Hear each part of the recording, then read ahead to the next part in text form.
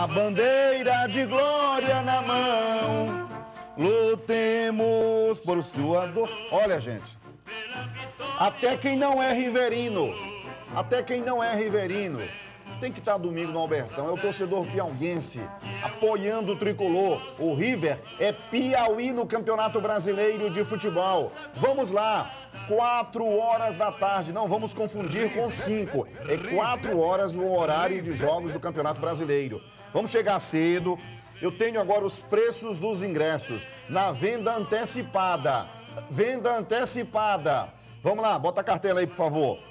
Ingressos antecipados serão vendidos a partir de quinta-feira, manhã e tarde, tá aí, ó. Manhã e tarde, nas lojas esportivas Centro e Zona Leste, Centro e Zona Leste, no horário comercial das lojas. Venda antecipada, geral 15 reais, arquibancada 25, cadeira 40 reais. Venda antecipada. Quem deixar para comprar no dia do jogo, vamos conferir os preços no dia do jogo. No dia do jogo, você compra os seus ingressos nas bilheterias do estádio Albertão.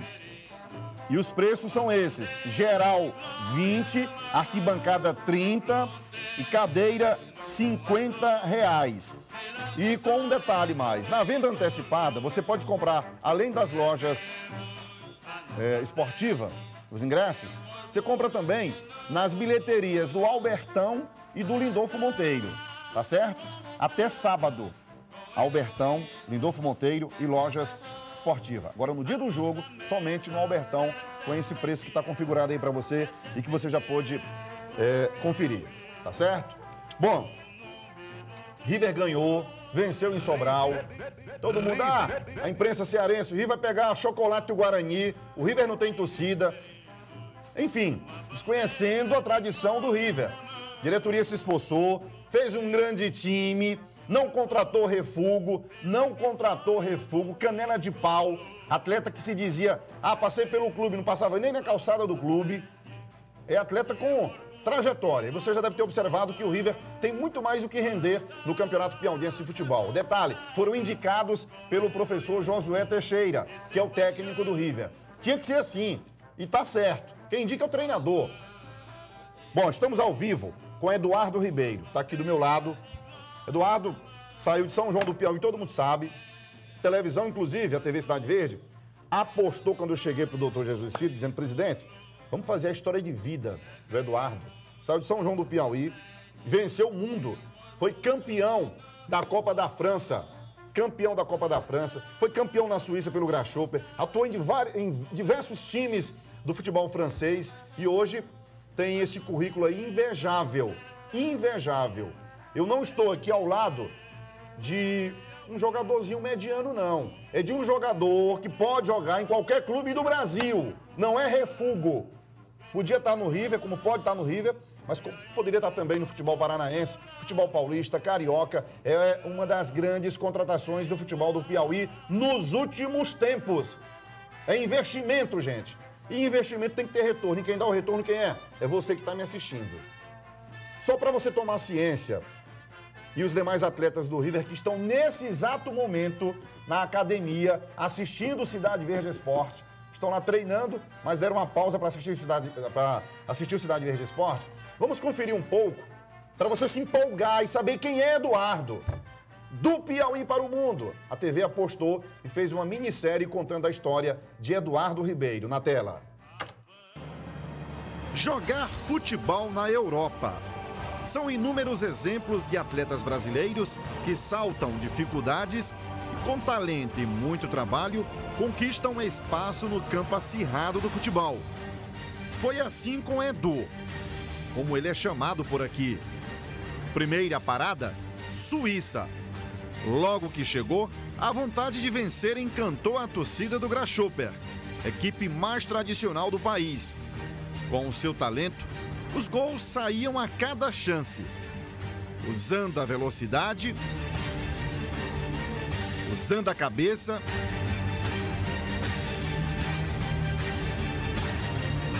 o oportunismo, muita técnica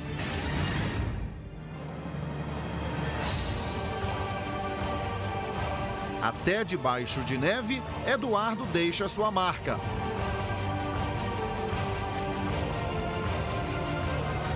Embora na época super adaptado ao seu clube, Eduardo sempre sentiu saudades de um ex-companheiro do Flamengo. Eu joguei bastante clube aqui já, na Europa, mas o meu parceiro que mais me colocou na cara do gol, com certeza foi o Tasso, na época de Flamengo do Piauí. Garoto franzino de São João do Piauí ganhou corpo e prestígio. Jogou no futebol suíço de 2001 a 2006. No ano seguinte, foi vendido para o Gigamp, time da segunda divisão francesa, que revelou craques como Maludá, meio-campo da França, e Drogba, um marfinense titular absoluto do Chelsea, também da terra da rainha. Mais lances formidáveis com jogadas de levantar a torcida. E uma conquista inédita, a Copa da França de 2009, campeonato mais antigo do país. Eduardo jogou além da conta, marcou duas vezes na final. Daqui de longe, Gringo, o homem que o revelou, é taxativo. Nós tivemos vários jogadores com, certas proje com certa projeção no cenário esportivo nacional. Nós podemos citar vários deles, tem o Batistinha, né? Leonardo, tem o Zé Batistinha, Maria. o Leonardo, tem o Zé Maria, entendeu? E tem, tem o próprio Cima também, que, que, que saiu muito, mas nós podemos dizer que ele está ele tá bem acima. Com Eduardo, as fronteiras do país não foram limite. O resultado foi uma contratação milionária para um clube de primeira divisão. O Racing Clube de Lance. Estádio fabuloso. Torcida encantadora. Estrutura de time grande. E uma primeira temporada difícil. O Lance cai para a segunda divisão na temporada 2010-2011. E agora é o recomeço para um dos gigantes da França. Bem, isso é o que a gente espera de verdade. Com certeza, esse é o objetivo. O objetivo de subir para a primeira divisão.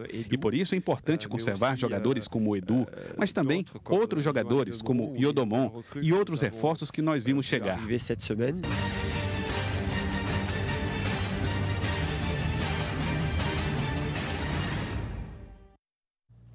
Esse rapaz aí que você viu, com essa habilidade toda, ele tá aqui, ó, de volta ao futebol do Piauí, pagando uma dívida. Ele dizia para mim, Herbert, eu vou voltar um dia. Não interessa se para jogar pelo Flamengo, o clube que me revelou, mas eu vou voltar ao futebol do Piauí, porque eu tenho essa dívida com o futebol do meu estado. Voltou, ligou para mim. Herbert, e aí, como é que tá aí em Teresina? O River tá com uma estrutura boa mesmo e tal. Eduardo, volte, moço. Volte, quer estar perto da família? Volte com a família, porque vai servir de vitrine para você também. É campeonato brasileiro. Aí se o River acende da Série D para C, você vai ser visado. Beleza? Obrigadão, parceiro. Meu irmão, esse aqui, viu? Amizade com ele desde a época que ele tinha 18 anos, quando saiu daqui. E aí, como é que tá a expectativa para domingo? Convoque essa torcida, inflame essa torcida tricolor para domingo, Eduardo. A expectativa é a melhor possível, né? Acho que a gente, a gente merece, né? Que a torcida vá pro estádio comparecer. Equipe boa, trabalhando forte, todo mundo focado. Os 11 que começaram jogando mostrou que tem muita qualidade. Os que ficaram também no banco, são pessoal que está trabalhando duro, sério. Acho que todos que toda a mudança que foi feita também, os que entraram entraram muito bem. E os que ficaram aqui também, né? É, um, é realmente uma equipe de qualidade. Joguei com muito, muito, muitas outras equipes e posso garantir que o time do River é uma muito boa equipe. Tá com uma estrutura boa, né? Isso é bacana você reconhecer isso, né? Uma equipe do futebol piauiense, você voltar depois de tantos anos, depois de mais uma década, e enxergar hoje que o futebol do Piauí está evoluindo, né? Isso é bacana de se ver. E você, rapaz, voando em campo, hein? Com a idade que você tem, quanto? Quase 34. Ó, ele, não, ele não esconde, 34 anos, mas é porque ele se cuida. Ele se cuida, né, Eduardo? Não, é isso aí, tem que trabalhar. O importante é estar sempre trabalhando, mantendo a forma. E para o bom rendimento também, importante ter uma boa equipe. E é que a equipe do River é essa boa equipe hoje. Tá bom. Confiante então que domingo o River pode sair do Albertão com um resultado positivo diante do Remo, né? Com certeza, a gente sempre trabalha para isso. Nosso objetivo é sempre entrar em campo em busca dos três pontos. Às vezes vai chegar jogos, vai ser difícil, que não vai, vamos ter o, o mesmo resultado. Mas a torcida tem que entender, tem que estar lá, comparecer e incentivar, que é nessas horas difíceis que a gente vai precisar do apoio da torcida. E é um outro foco na tua vida, Eduardo. Você, ó, você disputou a primeira divisão da França, a segunda divisão da França, a primeira divisão da Suíça, né? E agora está na quarta divisão do futebol do, do, do Brasil. Isso não, não, não, desmerece de forma alguma o que você plantou na tua vida, né? Não, de forma alguma. Estou muito feliz aqui, perto da família, num grande clube, um clube estruturado, grandes profissionais, um bom treinador também que está aí dando, dando essa força para a gente. Estou muito feliz, espero conseguir, né, junto com meus companheiros, essa acessão para a Série C. Ok, Eduardo. Edu. Valeu, Eduardo. Obrigado. Obrigado pela participação, tá bom? Valeu, Sá. Eu não esqueço nunca, é, é, e vale, vale o registro aqui, que esse cara, ele era, e ainda é, porque o pai dele está assistindo nesse momento o Cidade Verde Esporte, tá lá no céu. É, o seu Manuel de Jesus, que apostou no Eduardo, trouxe o Eduardo aqui para Teresina e disse: Meu filho, você vai jogar no Flamengo e tal. Levou o Eduardo para treinar no Parentão e tal. E aí, no dia que foi pro Eduardo voltar para a França, qual era o time? Agora o último. Lá no aeroporto, que a gente tava lá no aeroporto? Ajaxiou outra vez. Ajaxiou, pronto. Aí eu liguei pro pai, o pai dele não ia pro aeroporto. Eu liguei, seu, seu Jesus, vamos lá pro aeroporto pra abraçar seu filho e tal, tal, tal. Aí o Eduardo achava que ele não fosse, de repente ele apareceu, abraçou o Eduardo, Isso. deu um beijo no rosto dele. Foi a última vez que o Eduardo viu o pai. A última vez que foi? Vi, foi? Você foi pro Ajaccio e lá teve notícia da morte dele. Eu vim ainda, né? Adoeceu. Eu vi ainda, ele estava em vida, mas quando eu cheguei no aeroporto já tinha falecido. Valeu, garoto. Boa sorte, viu? Obrigado.